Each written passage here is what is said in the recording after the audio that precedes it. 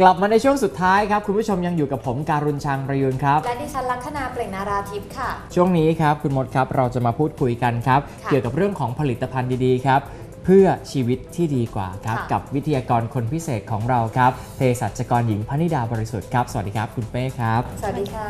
สวัสดีค่ะ คุณเป้ครับวันนี้ถ้าพูดถึงเรื่องของดวงตานะคุณมดครับ มีเรื่องของโรคต้อกระจกที่เราคุยกันค่ะมาในช่วงช่วงแรกนะครับ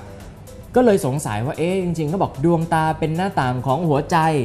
แล้วสารสำคัญอะไรจะไปช่วยดูแลดวงตาของเราฮะสารอาหารอะไรที่จะไปช่วยดูแลดวงใช่ตาครับของคุณเป้เราอะค่ะก็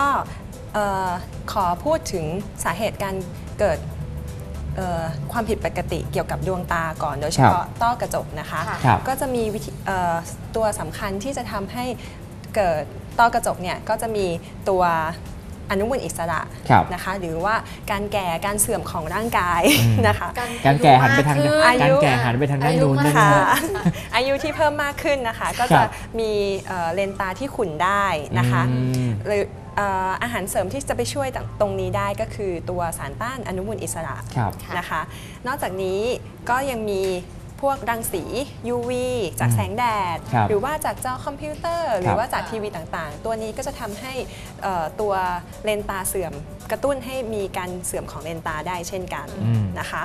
ตัวที่จะไปช่วยตรงนี้ได้ก็คือเป็นตัวที่ช่วยลดรังสี UV ช่วยกรองรังสี UV นั่นเอง ครับ นะคะ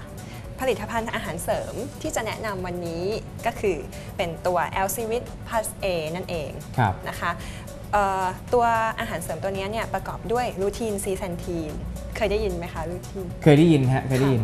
รูทีนซีเซซันนทีทีนนและอะไรอีกคะค่ะ แล้วก็ยังบวกวิตามิน A เข้าไปด้วยมี3อย่างคือจริงๆ ชื่อเขาก็บอกอยู่แล้วนะคุณมด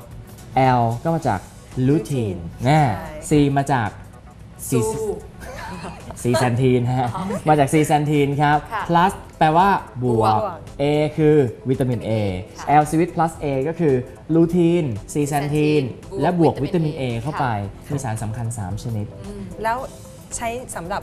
บำรุงดวงตา ใช่ อย่างที่คุณเป้บอกตอนแรกว่า จริง ๆ แล้วเนี่ยถ้าคนเราเนี่ยดวงตาเนี่ยจะมีอายุการใช้งานของเขานะค่ะ นะครับ เมื่อเอ่ออายุมากขึ้น นั่นแปลว่าอนุมูลอิสระในร่างกายมันก็มากขึ้นตามไปด้วยใช่ค่ะนะครับมันเซก็ลเลยล์ต่างๆ ก็จะเสื่อมไปนั่นไงมันเสื่อมไปตามกาลและเวลา คราวนี้ให้คุณเป้อธิบายดีกว่าอืมค่ะว่าลูทีนซีแซนทีนแล้ววิตามิน A เนี่ยสารสำคัญแต่ละตัวเนี่ยมีประโยชน์ต่อดวงตาในเรื่องไหนบ้างอืมค่ะ เริ่มต้นด้วยลูทีนซีแซนทีนก่อนเข้าเป็มานคู่กันเสมอมาเป็นหรอคะแพ็คคู่อาจจะไม่เสมอไปนะคะค่ะแต่ว่า เป็นสารที่อยู่ในกลุ่มเดียวกันอืมนะคะ ตัวลูทีนและซีแซนทีนเนี่ยก็จะพบมากในพวกผักสีเขียวต่างเขียวเข้มเข้มๆใช่ค่ะ เช่นพวกผักขมครับหวยเล้งหรือว่าครับ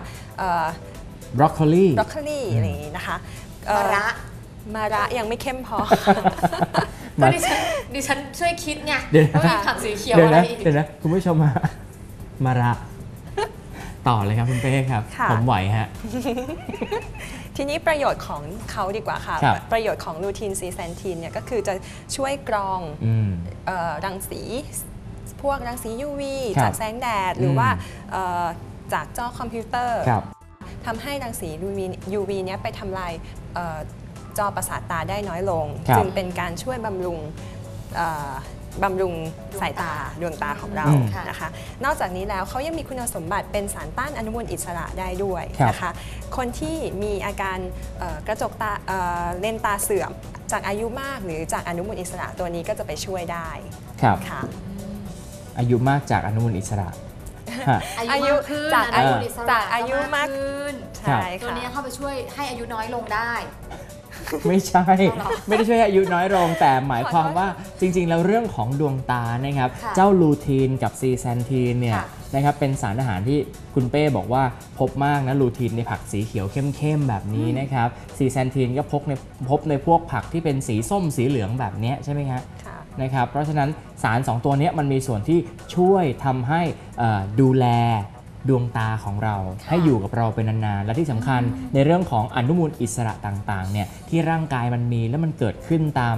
เขาเรียกว่าช่วงของวัยที่มากขึ้นตามไปด้วยค่ะสารสำคัญพวกนี้ก็จะไปช่วยดูแลด้วยใช่ไหมครับค่ะนั่นแปลว่าผมเข้าใจถูกนะอ่าเห็นเมื่อกี้คุณเป้บอกว่าลูทีนและซีแซนทีนเนี่ยเขาช่วยกรองรังสี UV อืมที่มาจากจอคอมพิวเตอร์แล้วก็แสงอาทิตย์ค่ะอย่างนี้แปลว่าคนที่ใช้คอมพิวเตอร์เยอะครับๆหรือว่าคนที่ ติดแบบเป็นแบบ gadget แท็บเล็ตนะอ่า เออเป็นแบบหนุ่มสาว gadget เนี่ยอ่าเหมาะกับลูทีนและซีแซนทีนมาก ๆ เลยถูกไหมคะเหมาะเป็นอย่างยิ่งเลยค่ะอ๋อรับประทานได้ทุกวันตลอดเวลา รับประทานได้ทุกวันค่ะ ค่ะคราวนี้ถ้าเกิดบอกว่าก็เมื่อกี้คุณเป้บอกเองว่ามันอยู่ในผักใบเขียว ไม่ทานได้ไหมยได้ กินผักเป็นกิโลกิโลแบบเนี้ย ใครจะกินผักเป็นกิโลคุณ ทีนี้เราสกัดถามเพื่อไงเราสกัดมาให้แล้วค่ะ ก็คือเราครับไม่จำเป็นจะต้องกินผักถึงเป็นกิโลอืมแล้วก็ทานแค่อันนี้แค่เม็ดเดียวง่ายกว่าเยอะเลยค่ะครับอืมจริง ๆ แล้วผมเข้าใจถูกไหมคุณเป้ว่า จริง ๆ ถ้าสมมติว่าเราทานผลิตภัณฑ์เสริมอาหารตัวเนี้ยหรืออาหารเสริมค่ะตัวเนี้ยนะครับ แทนที่เอ่อเราบอกว่าเอ๊ะรูทีนเนี่ยเราขาดนะ เราต้องทานผักขมทีนึงแบบว่าเป็นกะละมังอะไรแบบเนี้ยเราต้องทานเป็นทำไมกะคุณใช้ภาชนะเป็นกะละมังดู ปริมาณมันเยอะอ๋อโอเคคือต้องทานเป็นกะละมังแล้วทานวันหนึ่งกันหนึ่งกะละมังหนึ่งกะละมังอย่างเงี้ยค่ะถ้ามันไม่ไหวอะนะฮะก็ก็เขาสกัดมาให้เรียบร้อยแล้วนะฮะง่ายจะตายเป็นเม็ดเล็ก ๆ เป็นแคปซูลเล็ก ๆ แบบเนี้ยทานก็ง่าย อันนี้ลูทีนแล้วก็ซีแซนทีนแล้วค่ะ คราวนี้เหลืออีกตัวหนึ่งวิตามิน A วิตามิน A ครับ ค่ะอ่าวิตามิน A เนี่ยมีความสำคัญต่อดวงตาเป็นอย่างมาก ค่ะ คนที่ขาดวิตามิน A เนี่ยจะทำให้เกิดอาการที่แบบเอ่อตาบอดตอนกลางคืน ไม่ใช่ไม่ใช่ตกตกดึกแล้วตาบอดนะคะ คือมีอาการที่ว่าเอ่อความสามารถในการมองเห็นลดลง เมื่คือมีพอแสงตน้อกยลกลางงคืนปั๊บปิดไฟแล้วมองไม่เห็น ใช่เมื่อปิดมีไฟก็ต้องมองไม่เห็นสิคุณอยากมองเห็นก็ต้องเปิดไฟ ไม่ก็เป็บานง เรื่องปกติหรือเปล่า บางทีตาเราอะจะมีการปรับสภาพค่ะอ่าพอหลังจากปิดไฟไปแป๊บนึงเนี่ยนะคะเราก็จะเริ่มมองเห็นอืม ได้มากขึ้นว่าโอ้โต๊ะอยู่ตรงไหนเตียงอยู่ตรงไหนอะไรอคุณย่างนี้ จำพวกคนที่เดินเข้าไปในโรงหนังแล้วตกบันไดนะ คือคนพวกเนี้ยขาดวิตามินเอบ้างไม่เขาเป็น night blindness ใช่ไหมฮะ ตาบอดกลางคืน ค่ะก็เพราะขาดวิตามิน A คือในที่มืดมองเห็นไม่ชัดอย่างนี้ถูกต้องไหมคะถูกต้องค่ะอืมอืม ไออาการไออาการตาบอดกลางคืนเนี่ยครับ มันมีอาการยังไงบ้างคะ ตอนกลางวันไม่แสดงอาการเลย เอ่อจะเป็นเฉพาะตอนที่เหมือนขาดแสงมีไม่ใช่เป็นเฉพาะตอนกลางวันหรือกลางคืนค่ะอยู่ในที่ที่ไม่มีแสง อย่างเช่นอืมอยู่ในโรงหนังอ๋ออั อันนี้ก็จะเป็นได้คือนะคะที่มืดมืดๆแสงน้อยอ่าค่ะๆหมายถึงว่าดวงตาไม่สามารถปรับโฟกัสในที่ที่มีแสงน้อยๆ แบบนั้นได้ทำให้มองเห็นไม่ชัด เอ่อบางคนเนี่ยถ้าขาดวิตามิน A อาจจะไม่มองไม่เห็นเลยครับ นะคะเหมือนจจะตารู้บสึกอดเลยอย่างนี้เหรอค่ะ คะเหมือนตาเราเนี่ยมันจะปรับมันจะมีเซลล์ตัวหนึ่งที่ใช้ปรับ ว่าถ้าเกิดแสงน้อยเนี่ยเซลล์ตัวนี้จะทำงานขึ้นมาอืมค่ะอืมทำให้เราสามารถมองเห็นเห็นได้คร่าวๆว่ามีอะไรอยู่ตรงไหนครับนะคะ สังเกตดูว่าเวลาเราเข้าไปในที่มืดพอดับไฟปุ๊บตอนแรกเราจะยังมองไม่เห็นค่ะแต่สักพักหนึ่งแล้วตาเราจะมองเห็นอืมขึ้นมาเองนะคะอืมแต่ว่าในคนที่ขาดวิตามิน A เนี่ยจะขาดตัวปรับตัวนี้ทำให้ค่ะ เมื่อครับไม่มีแสงแล้วก็จะมองไม่เห็นครับ แล้วพวกตาสู้แสงไม่ได้ล่ะคะ เกี่ยวข้องกับครับ ตัววิตามิน A หรือเปล่าคะ เอ่อคนละตัวกันค่ะ อืม แต่ว่าวิตามิน A ถ้าขาดมากๆนะคะก็จะทำให้มีอาการที่ตาแห้งค่ะนะคะ จนไปถึงบางทีก็เอ่อสูญเสียความสามารถในการมองเห็นเลยค่ะ ครับ ได้ นั่นเป็นโรค night blindness หรือตาบอดกลางคืนอืมนะครับอาการก็เกิดจากการขาดวิตามิน A ค่ะ คราวนี้วิตามิน A เนะครับถ้าเราอยากจะได้วิตามิน A เพิ่มเข้าไปเนี่ย นะครับในร่างกายเนี่ยมันสามารถทานได้จากพวกผักอะไรตบ้า่างงๆอืมอะไรอย่างนี้ก็ด้วยไหมฮะ อย่างเช่นผักที่มีสีเหลืองนะคะ ที่มีเอ่ออย่างที่เรารู้กันว่าฟัมีกทอง ฟักทองค่ะอืม ใช่ค่ะ มีอะไรอีกคะผักบุ้งค้างวันค้างนานๆเป็นสีเหลืองมันะนไม่เหลืองหรอก มันดำๆฉันเคยเห็นเหลืองโดยธรรมชาติดีกว่าค่ะ ก็อย่างเช่นพวกข้าวโพดแครอทอืมอย่างนี้ก็ได้สับค่ะ แครอทสีส้มปะคุณอะสีสีส้มออกส้มๆเหลืองๆอย่างนี้ได้อ๋อเหรอเหมือนสีของผลิตภัณฑ์อ๋ออย่างสับนี้ปะรดล่ะคะสับปะรดสับปะรดก็อาจจะมีน้อยกว่านิดนึงอืม ค่ะอืมยัก็งก็คือเป็นมีวิตามิน A อยู่ในนั้นนั่นแหละ ค่ะ เอ๊ะเขาบอกแล้วผักบุ้งอะผักบุ้งเป็นสีเขียวมีวิตามิน A ไหมฮะผักบุ้งก็ช่วยเสริมได้ค่ะคุณเป้จริง ๆ แล้ววิตามิน A เนี่ยนะฮะเท่าที่เท่าที่เราทราบเนี่ยมันไม่ได้ช่วยแค่เรื่องของดวงตาเพียงอย่างเดียวด้วยใช่ไหมครับๆ ค่ะ ยังช่วยเรื่องอื่นๆนี่ไหมครับคุณเป้ช่วย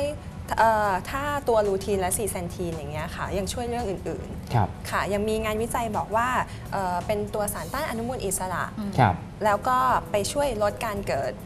ตะกอนอุดตันในหลอดเลือดอืมนะคะ จึงลดความเสี่ยงต่อการเกิดโรคหลอดเลือดและหัวใจได้ด้วยอืมนะคะ นอกจากนี้ยังมีงานวิจัยว่าไอ้เจ้าตัวลูทีนซีเซนทีนครับเนี้ยค่ะ ยังช่วยลดการเกิดมะเร็งบางชนิด เช่น มะเร็งเต้านมได้อีกด้วยอืม ค่ะครับอันนี้ก็เป็นเป็นสารสำคัญที่น่าสนใจแล้วเราควรจะรับประทานยังไงครับคุณเป้ก็รับประทานวันละ 1 เม็ดครับเวลาไหนก็ได้ค่ะเอ่อเน้นเป็นช่วงเวลาเช้าก็ได้ครัค่ะบเพราะว่าเราต้องเจอกับมลภาวะแสงแดดอะไรอย่างนี้เอ่อก็วันละ1เม็ดพร้อมอาหาร ครับ มากกว่า 1 เม็ดได้ไหมคะ อย่างเช่น อย่างเช่นเราเป็นคนแบบเหมือนกับต้องดูคอมพิวเตอร์ตลอดอืมหรือว่าขับรถแบบ ตอนกลางวันหรือตอนกลางคืนที่ต้องเพ่งครับอใช้สายตาหนักอะค่ะ เราสามารถรับประทานได้มากกว่า1เม็ดไหมคะ วันไหนเอ่อจริง ๆ แล้วตัวอาหารเสริมเนี่ยมันมันสามารถปรับเปลี่ยนได้วิธีการค่ะกิน เอาอย่างนี้ขึ้นอยู่กับพฤติกรรมเราดีกว่าครับค่ะ ถ้าวันไหนพฤติกรรมเราที่จะต้องเสี่ยงต่อการทำลายดวงสายตาเราเนี่ยอืม ก็กิน 2 เม็ดก็ได้ไม่ว่ากัน แต่ถ้าเกิดจะเป็นการป้องกันธรรมดาก็วันละ 1 เม็ดก็พอค่ะ ไม่ควรเกินกี่เม็ดคะ เกิดบางคนบอกว่าคุณเป้บอกแล้วแต่พฤติกรรมโอ้โหอืมกินใหญ่เลย เป้แนะนำว่า 1-2 เม็ดก็พอค่ะ ค่ะ เพราะว่าครับมันมีวิตามิน A บางทีเอ่ออาจจะต้องมีระบบในการขับออกนิดนึง ค่ะ ครับค่ะ แล้วสำหรับคนที่บอกว่าตอนนี้มีปัญหาเรื่องของโรคเอ่อตาบอดกลางคืน หรือเป็นต้อกระจกทานได้ไหม แล้วมันจะช่วยลดอาการต่างๆ ที่เขาเป็นอยู่ให้ดีขึ้นหรือเปล่าค่ะ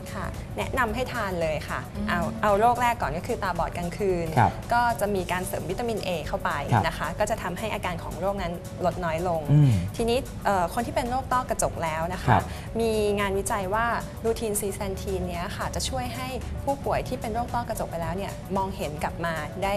เพิ่มมากขึ้นครับ นะคะ แต่ทั้งนี้ทั้งนั้นพอเป็นโรคต้อกระจกเป้แนะนำให้ไปพบแพทย์ครับ